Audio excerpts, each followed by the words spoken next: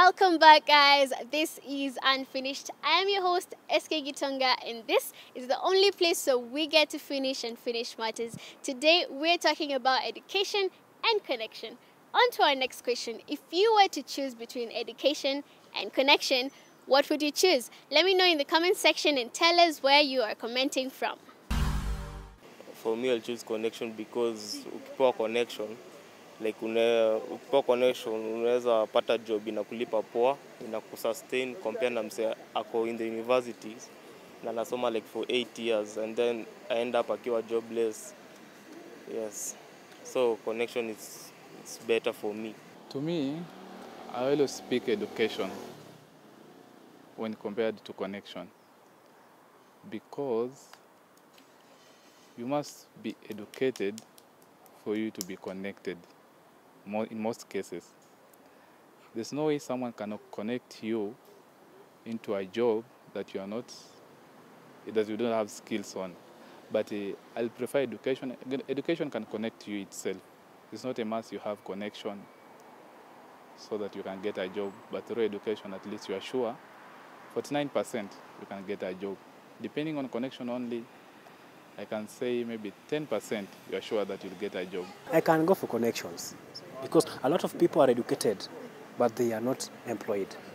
Yes, they are not employed. Connections can expose you to a world of you can get, uh, you can be paid. You know, yeah, you can get paid when someone maybe tells you do this for me, then I will. It's just something to do with deals. I love knowledge to begin with. That's uh, personal bias. I just love knowledge. I love absorbing information, whether it's random, whether it's whether it's factual. You know, just love being there. Then um, for me, life is um, is a sort of fantasy MMORPG. You know, um, uh, I, I just love being um, part of you know. Uh, how do I put it? Gears, you know, the gears that shift, you know, the cogs that shift the gears, you know, just being a contributing member of society, you know, um, in my own way, in my own respect, you know. Um, take me back to the days, you know, the ancient Greece and everyone, you know, when civilization was at its peak, you know, you just had to be educated, you know, and knowledgeable. And those are the people who made this world what it is, not the people who are connected, to be honest. Um, connections. uh, because with connections, I mean, you that you can just get anything you want really. Because I mean, if you have education, you can, but it's a, it's a harder way. With connections, you're already connected to so many people. You can enter into so many things. Yeah. So I'd choose connections.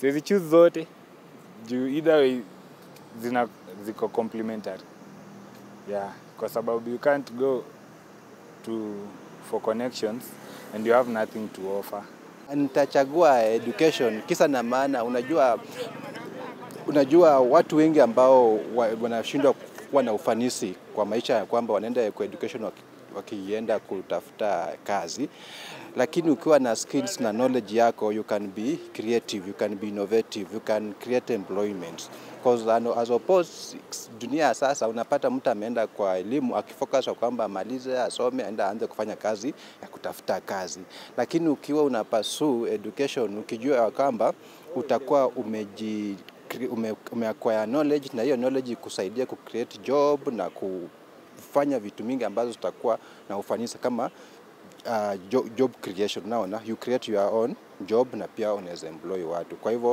uh, mimi nitachagua education because through education uh, watu ambao ninge, wange, watu watakuwa wananitafuta because I have skills and knowledge yenye hawana. because I'm an honest man myself and I believe in education, I'd not go for connections. If I were, if I went for connections, uh, maybe after the last election, pro- probably I'd not be walking in the streets now. But I decided to stand for the truth. And anybody who will watch this and know, kuna wale wananijua, they know me. I stood for the truth. And that is why some people uh, decided not to listen to me, which is okay. We are going to vote you out. Trust me, the same skills we used to organize for you, we are going to put them into action again. And any leader who has lied to Kenyans, we will throw you out. Trust me on this one. Connection I haiwezi work ka una basic education. So I'll go with education then connection. I'd rather choose uh, education. Because if you are connected, maybe you are connected to do a certain big job and you cannot perform. You cannot perform. So, the, I mean, education, you will even reason. Hata kama huna. Unaona? You'll reason on how to behave, moral values, on how to do your things, on how to organize. You can even create entrepreneurial skills, okay? And start by your own. Nowadays, we, have, we are in a media technology. You can sell your things online. And if you do it perfect, you'll get through connection through your education. But if you are connected and don't have education, you can even be told to address very many people. And you don't know, but you are connected to be there. So education, I still prefer, education is still very powerful. education and connection. At some point you might get connection, but that connection without education uh, inaweza. But it's good to have basic, then combine with a good connection. Personally, I feel like they're both very important. But one thing you have to keep in mind is that if you have education, you do not necessarily need connections. But if you have connections, you definitely do need education to back it up. Let's say, for example, you do have connections to get a certain job, but then you go there, you don't have the skills, you don't know the basics, you're definitely going to lose your job. And some professions specifically need you to go to school to get the kind of information needed. Professions like doctors, lecturers, etc. Which takes us to our last question. Do you think education is only for the young? Let me know what you think in the comment section. Uh, for me, I don't think. Uh, but some point, uh, it depend. Age limit, you can study, you can, you can study until you're old. But uh, based on understanding some point, kuna ile tu ukizeeka sana uweze rada vitu zingine. That's the fact. So kuna ile kuna zile age uko active kabisa when you study something you analyze you have energy to to put into and read. But I don't think that it has a age limit. So it's only that the the energy slow down as the the age comes. Education aishangi Yeah. Like we, we, we get new things daily. Yeah, so tuwezi sema mtu atamaliza kusoma akifika certain age. No. Education is recurring. Ni kitu iko. To certain level. To a certain level. Because when you are born, you must start with certain things. When you reach at a, there is time for everything. Mm, there is time for everything. Yeah, that's what I can say. We're constantly growing, constantly evolving. Um, yeah, I think formal education, you can make an argument for it because uh, I don't think uh, the environment would be conducive of having kids and uh, really old people in the same learning environment. It's really not good because they're different phases. Yeah. Um, in my own lectures, you know, um, in my own classes, uh, uh, architecture, um, I, I'm constantly challenged by the older students, you know, the people who start doing their course in their 40s and the likes, and I'm just half their age. You know, I mean, there's, there's, there's value they bring to the table, true, but then again, um, it just feels, just feels uncomfortable at times.